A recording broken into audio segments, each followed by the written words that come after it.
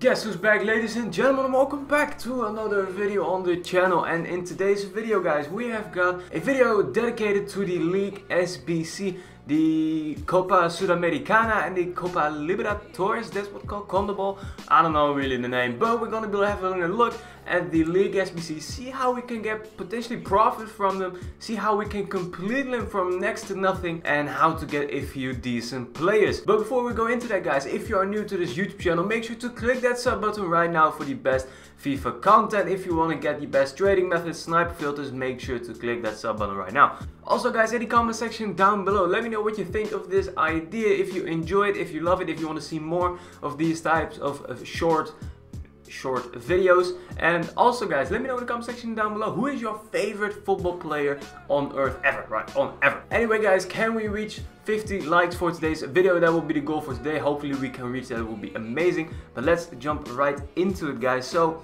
let's go to the squad building challenges and let's go to the uh, leagues. Now I have already completed them once because I have saved all my players actually for um, for this league SBC. So we've got the Copa Libertadores and the Sudamericana.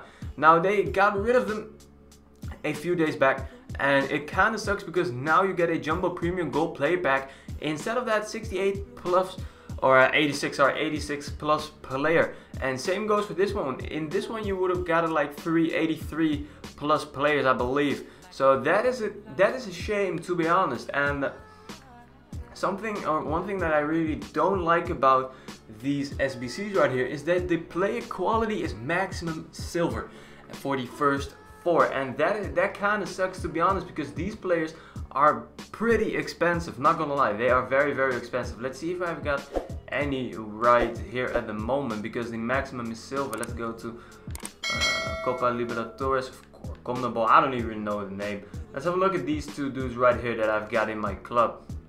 Let's just see and have a look how much they are going for. 5,000, 3,000.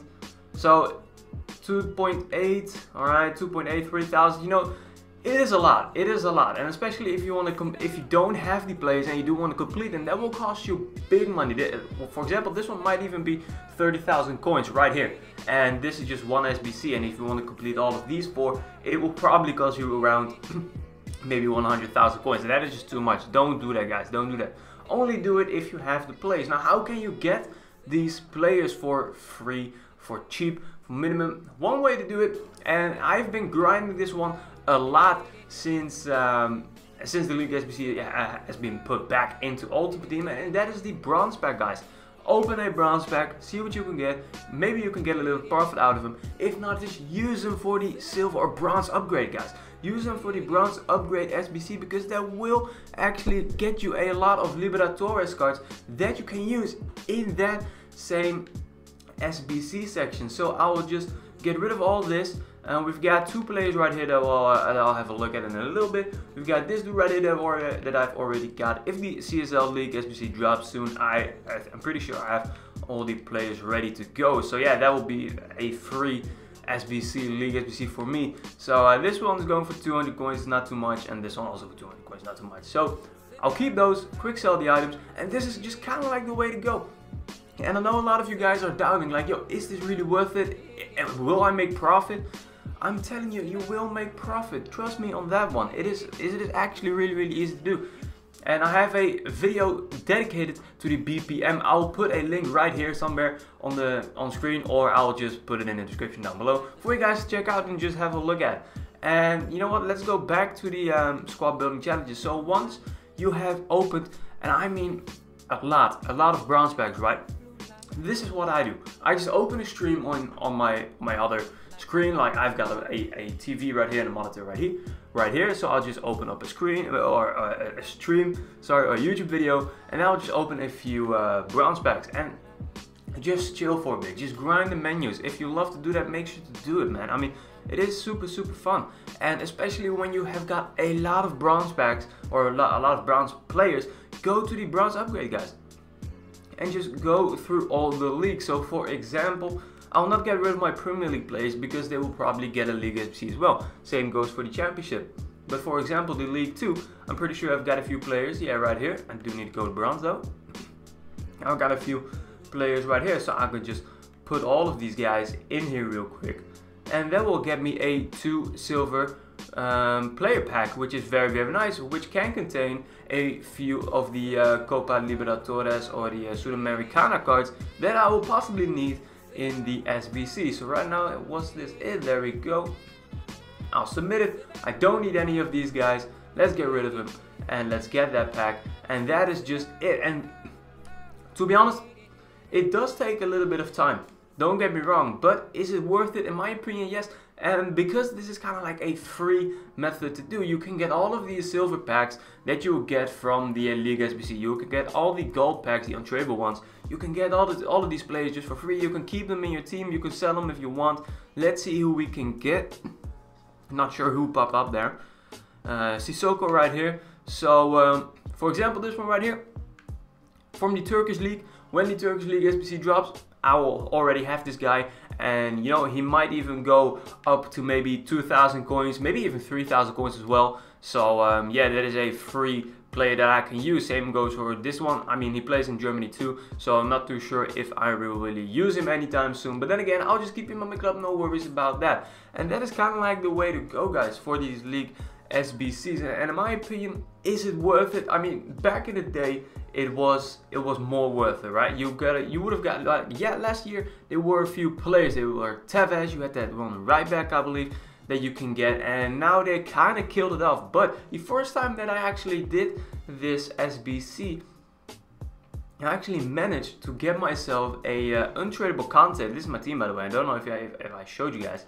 Um, I got this content untradeable from that pack, and, he, now he's a 400k player or 350k player. So, I mean, I kind of like got my coins back, but it isn't tradable at the end, you know. So yeah, I mean, I don't know. I don't know. I saw Nick 28T talk about this, and he actually also packed Hazard, another great player from these packs. So maybe you are still able to get a 86 plus rated player. I don't know. I don't know. I also packed a João Felix uh, inform card, which is kind of a shame because I already have his. Um, I already have his FUT Champions card. So let's go to striker right here, and I'll show you. Yeah, there you go. João Felix, again, untradeable first owner. I, I literally cannot use him uh, because I already have got a red one.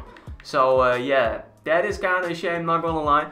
Um, but then again, I'll take it, you know, I'll take it, no worries, no worries. I can use him in another SBC anytime soon. But yeah, is it worth it, guys? I mean, yes and no. If you love to grind the menus, if you love to open bronze pack, just chill, relax for a bit, just have a little bit of fun, you know, watch a few streams, watch a few YouTube videos, then I guess, yeah, man, absolutely go for it and you will make a lot of coins back from the, um, not only the bronze packs, but also the silver packs that you will be opening, also the, um, the untradables that you can get. I mean, you can use them in another SBC and stuff like that. So, I mean, I, I guess so. But if you if you want to purchase all of these plays, then absolutely don't do it. Absolutely, there's no point. There's there's literally no point in doing that. So don't go and buy um, and buy all, all of these players. Now, eh, for example, this one right here, the uh, Sudamericana CONMEBOL Sudamericana Liga SBC, right? The final one, so this one right here, you need a overall team rating of minimum 72. Now if we go ahead and have a look at a few of the higher rated ones,